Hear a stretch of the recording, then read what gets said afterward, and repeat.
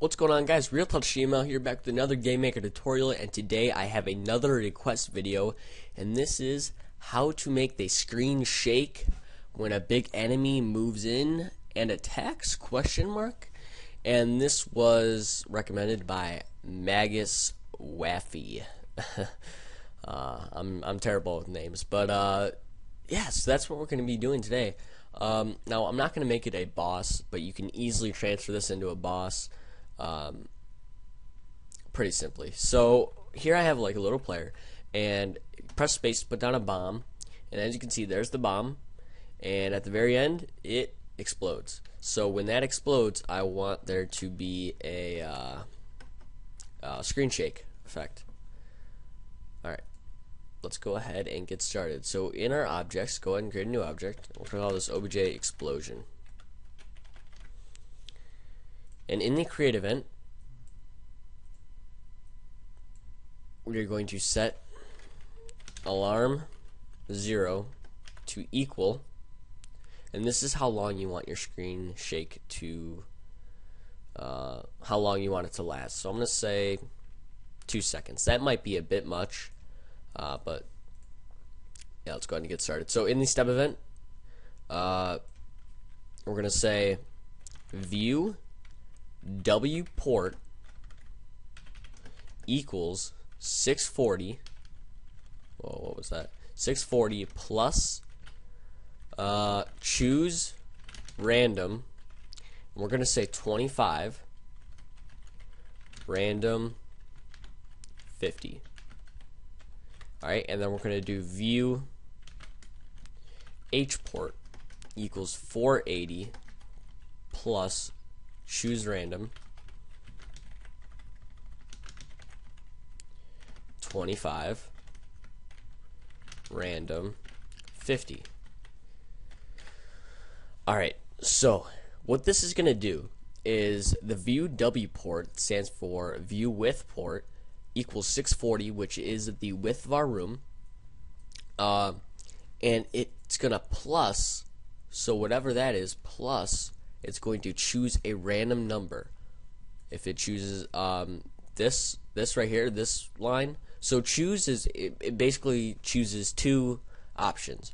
You got this option here, separated by a comma, this option. So if it picks this option, it's going to pick a number 1 through 25. Or I think 0 through 25. And it picks this one, 0 through 50. Same thing with the width. So it's going to, and it's going to change the, uh, like the dimension of the room.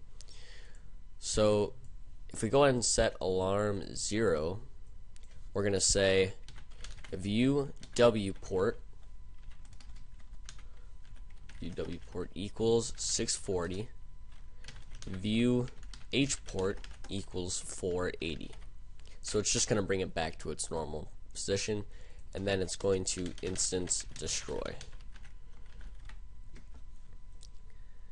Alright, so in the OBJ bomb, or now this is where you're going to actually implement it into your own game. So if you had a boss, uh, when he walks in, you would say in the create event, you know, um, you know, instance create this explosion, or if when he jumps, when he hits the ground, say if v speed is greater than 10 and he collides with the ground, then create that. You know what I mean? So uh, in alarm one we're just going to go ahead and say instance create uh, 00, 0 obj explosion. Now again, two seconds might be a long time, but uh, let's go and test it out. So here's the bomb, and nothing happens, and that is because um, actually, if you go into your room and you go to views here, the view tab, and you hit enable views, visible when room starts. Now it's actually going to create a view to, to. So put down a bomb, and boom. As you can see, that uh, that was a little longer than uh, it needed. But yeah, check out that effect. Um, it makes that nice shaking motion. Uh, yeah, that's pretty awesome. Actually, let me let me check something out here. If we do negative here, because if you notice, it was only dragging down in one position. So I just want to know if you do negative, that it will go in the up position now.